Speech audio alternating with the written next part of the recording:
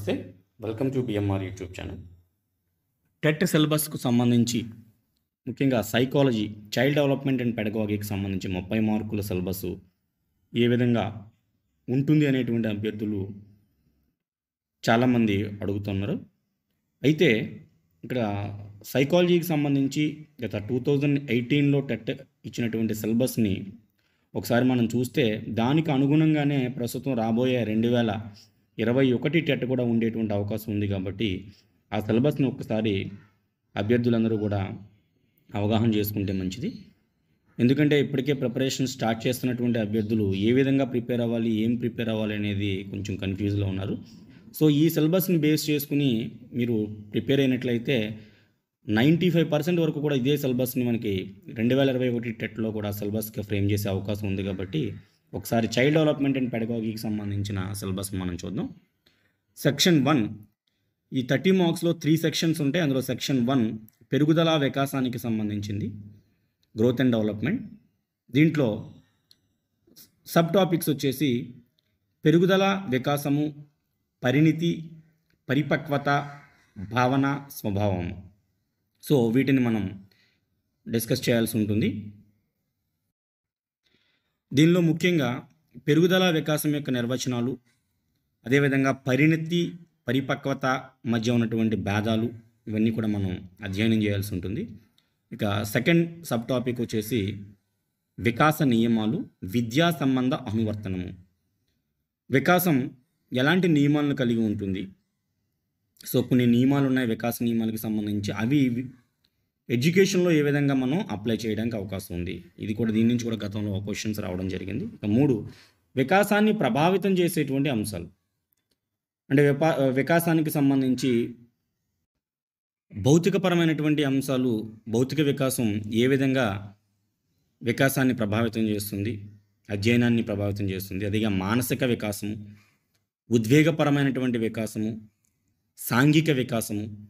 So ఈ వికాసాలన్నీ కూడా ఏ విధంగా విద్యతో సంబంధాన్ని కలిగి ఉన్నాయి? వీటికి సంబంధించి అనేక మంది శాస్త్రవేత్తలు మనోవైజ్ఞానికవేత్తలు ఏ విషయాలు చెప్పారు? ఉద్యోగ వికాసం గురించి ఏం చెప్పారు? సాంఘిక వికాసం గురించి ఏం చెప్పారు?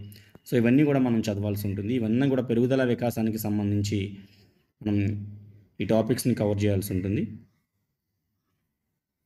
ఇక నెక్స్ట్ ఫిఫ్త్ సబ్ టాపిక్ వచ్చేసి వివిధ దశల్లో వికాసం ఈ విధంగా ఉంటుంది?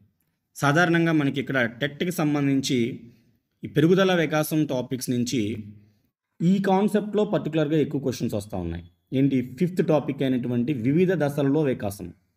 అంటే శైశవ దశలో విద్య ఒక శిశువుకి ఎలాంటి లక్షణాలు ఉంటాయి? వికాస లక్షణాలు ఏ విధంగా ఉంటాయి? బాల్య దశలో ఎలాంటి లక్షణాలు ఉంటాయి? కౌమార దశలో ఎలా ఉంటాయి? వయోజన దశలో ఎలా ఉంటాయి? బాల్య దశకు సంబంధించి కౌమ మనకి పూర్వ బాల్య దశలో ఏ విధంగా ఏ విధమైన లక్షణాలు ఉంటాయి? ఉత్తర బాల్య దశలో ఏ విధంగా లక్షణాలు ఉంటాయి? కౌమార దశకు సంబంధించి ముఖ్యంగా వీటిపైన ఎక్కువగా కాన్సన్ట్రేట్ చేస్తున్నాడు. ఖచ్చితంగా ఈ టాపిక్ నుంచి క్వశ్చన్ వస్తుంది. ఇక సిక్స్త్ సబ్ టాపిక్ కూడా పెరుగుదల వికాసంలో చాలా చాలా చాలా ఇంపార్టెంట్ టాపిక్ దీని నుంచి ఖచ్చితంగా ఒక త్రీ ఫోర్ క్వశ్చన్స్ అనేటువంటివి రావడం జరుగుతుంది. వికాస అవగాహన సిద్ధాంతాలు శిశు వికాస అవగాహనకు సంబంధించి జాన్ పియాజే ఇచ్చినటువంటి సిద్ధాంతము కోల్బర్గ్ ఇచ్చినటువంటి సిద్ధాంతము హోమ్స్కి ఇచ్చినటువంటి సిద్ధాంతము కోరల్ రాజర్స్ అండ్ ఎరిక్సన్ సిద్ధాంతాలు చాలా చాలా ఇంపార్టెంట్. ఒక నాలుగు నుంచి ఒక ఆరు ప్రశ్నల దాకా కూడా మనకి ఈ ప- పర్టికులర్గా సిక్స్త్ సబ్ టాపిక్ నుంచి అడగడం జరుగుతుంది.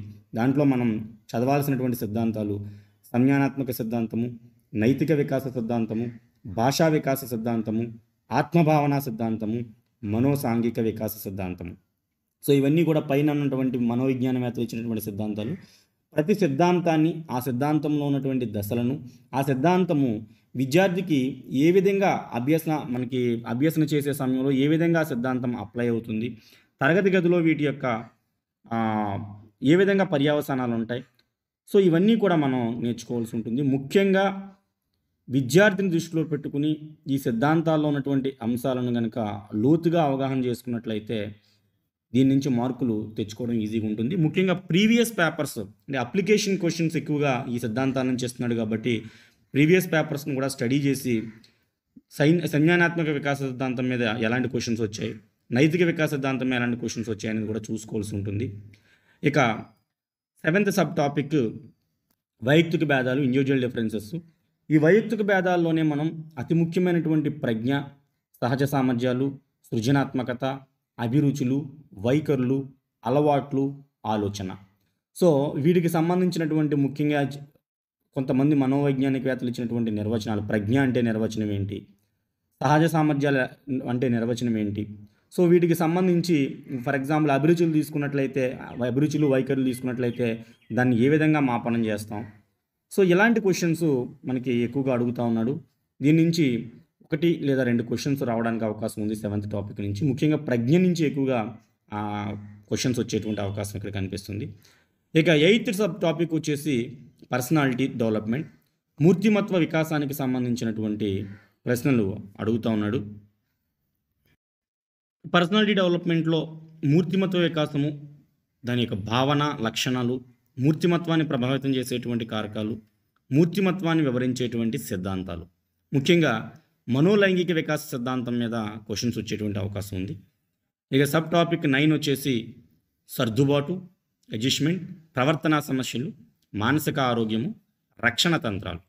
ఈ పర్టికులర్ టాపిక్లో రక్షణ తంత్రాలకు సంబంధించినటువంటి ప్రశ్నలు ఎక్కువగా వచ్చేటువంటి అవకాశం ఉంది. రక్షణ తంత్ర రక్షణ తంత్రాలకు సంబంధించి కూడా అప్లికేషన్ టైప్ క్వశ్చన్ క్వశ్చన్ వచ్చేటువంటి అవకాశం ఉంది. ఇక సబ్ టాపిక్ టెన్ మనం చూసినట్లయితే శిశు వికాస అధ్యయన పద్ధతుల గురించి శిశు వికాసాన్ని ఏ విధంగా అధ్యయనం చేస్తాం అనేటువంటి దాని గురించి మనం నేర్చుకోవాల్సి ఉంటుంది. ఇక సబ్ టాపిక్ లెవెన్లో వికాస వికాసానికి సంబంధించినటువంటి ఆటంకాలు ఏ విధంగా ఉన్నాయి? సో దీన్ని మనం లెవెంత్ టాపిక్గా మనం చెప్పుకోవచ్చు. అక్కడతో సెక్షన్ వన్ మనకి కంప్లీట్ అయింది పెరుగుదల వికాసానికి సంబంధించి. ఇక సెక్షన్ టూ అంతా కూడా లెర్నింగ్ మీద ఉంటుంది. అభ్యసనకు సంబంధించినటువంటి అంశాలన్నీ కూడా సెక్షన్ టూలో ఉంటాయి. సో దీంట్లో ట్వెల్త్ సబ్ టాప్ సబ్ టాపిక్గా మనం చూసినట్లయితే అభ్యసనం అంటే భావన అభ్యసనం యొక్క స్వభావము లక్షణాలు అభ్యసనం రకాలు అభ్యసనాన్ని ప్రభావితం చేసేటువంటి కారకాలు. దీంట్లో ఎక్కువగా అభ్యసనాన్ని ప్రభావితం చేసేటువంటి కారకాల మీద ప్రశ్నలు వస్తూ ఉన్నాయి. ఇక సబ్ టాపిక్ థర్టీన్ వచ్చేస్తే అభ్యసన సిద్ధాంతాలు. లెర్నింగ్ థీరీస్ అనేటువంటివి ఖచ్చితంగా ఈ సెక్షన్ టూలో చాలా చాలా చాలా ఇంపార్టెంట్. దాదాపుగా ఒక నాలుగు నుంచి ఆరు ప్రశ్నల వరకు కూడా మనకి ఈ థర్టీన్త్ సబ్ సబ్ టాపిక్ నుంచి రావడానికి ఛాన్స్ ఉంది అభ్యసన సిద్ధాంతాల నుంచి. చాలా ఇంపార్టెంట్ టాపిక్ ఇది. దీంట్లో మనం నేర్చుకోవాల్సినటువంటి సిద్ధాంతాలు థాన్ డైక్ యొక్క యత్నదోష సిద్ధాంతము అలాగే పావులో యొక్క శాస్త్రీయ నిబంధన సిద్ధాంతము అదేవిధంగా స్కెన్నర్ యొక్క కార్యసాధక నిబంధన సిద్ధాంతము వైగాట్స్కి యొక్క నిర్మాణాత్మక సిద్ధాంతము. ఈ నాలుగు సిద్ధాంతాలకు సంబంధించి ముఖ్యంగా సిద్ధాంతాలు ఉండేటువంటి దశలేంటి ఆ సిద్ధాంతంలో ఎలాంటి లక్షణాలు ఉన్నాయి సో ఆ సిద్ధాంతంలో ఉండేటువంటి ముఖ్యమైనటువంటి కాన్సెప్ట్స్ ఏంటి? ఇవన్నీ కూడా విద్యార్థికి అనువర్తించుకుంటూ మనం ఇక్కడ చదవాల్సి ఉంటుంది. అదేవిధంగా మరొక సిద్ధాంతం మరొక రెండు సిద్ధాంతాలను కూడా మనం దీంట్లో చదవాల్సి ఉంటుంది. అవి కోహిలర్ యొక్క గెసాల్ట్ వాద సిద్ధాంతము అదేవిధంగా బంధూరా యొక్క పరిశీలన సిద్ధాంతము. ఈ ఆరు సిద్ధాంతాల నుంచి కూడా దాదాపుగా ఒక ఫోర్ టు సిక్స్ క్వశ్చన్స్ రావడానికి అయితే ఛాన్స్ ఉంది. అప్లికేషన్ క్వశ్చన్స్ రావడానికి ఛాన్స్ ఉంది ముఖ్యంగా. సో ఆ సిద్ధాంత దశలన్నీ కూడా తరువుగా మీరు ఫాలో అవ్వాల్సి ఉంటుంది. ఇక సబ్ టాపిక్ ఫోర్టీన్ వచ్చేసరికి అభ్యసన బదలాయింపు అభ్యసన బదలాయింపు సిద్ధాంతాలు అభ్యసన వక్రరేఖలు దీని నుంచి కొంచెం క్వశ్చన్స్ కఠినంగా వస్తూ ఉన్నాయి. అభ్యసన బదలాయింపుకు సంబంధించినటువంటి ఏ విధంగా అభ్యసన బదలాయింపు జరుగుతుంది? శూన్య బదలాయింపు అంటే ఏంటి? లేదా అనుకూల బదలాయింపు అంటే ఏంటి? ప్రతికూల బదలాయింపు అంటే ఏంటి? అభ్యసన వక్రరేఖల మీద ముఖ్యంగా చాలా కఠినమైనటువంటి క్వశ్చన్స్ రావడం జరుగుతూ ఉంది. సో దీన్ని లోతుగా అర్థం చేసుకోవాల్సి ఉంటుంది. సబ్ టాపిక్ ఫిఫ్టీన్ వచ్చేసి స్మృతి విస్మృతి. ఈ స్మృతి విస్మృతికి సంబంధించి కూడా మనకి ఈ స్మృతికి సంబంధించినటువంటి ఈ స్మృతికి సంబంధించినటువంటి ఏ విధంగా అంచనా వేస్తాం? అంటే ఏ విధంగా స్మృతిని మనం కొలవగలుగుతాం? అదే మర్చిపోయేటువంటి అంశాలు ఏ ఏ స్థాయిలో ఎంత శాతాన్ని అంశాన్ని మర్చిపోతాం? లాంటి అంశాలను దానికి సంబంధించిన క్యాలిక్యులేషన్స్ కూడా మనకి టేబుల్స్ అడుగుతూ ఉన్నాడు. ముఖ్యంగా తెలుగు అకాడమీ పుస్తకాలకు సంబంధించినటువంటి ఆ టేబుల్స్ మనం పర్ఫెక్ట్గా ఏ ఏజ్లో మనకి ఎంత సమయానికి ఎంత స్మృతి ఉంటుంది ఎంత విస్మృతి ఉంటుంది ఇలాంటి మనకి టేబుల్స్ అన్నీ కూడా మనం కరెక్ట్గా ఫాలో అవ్వాల్సి ఉంటుంది.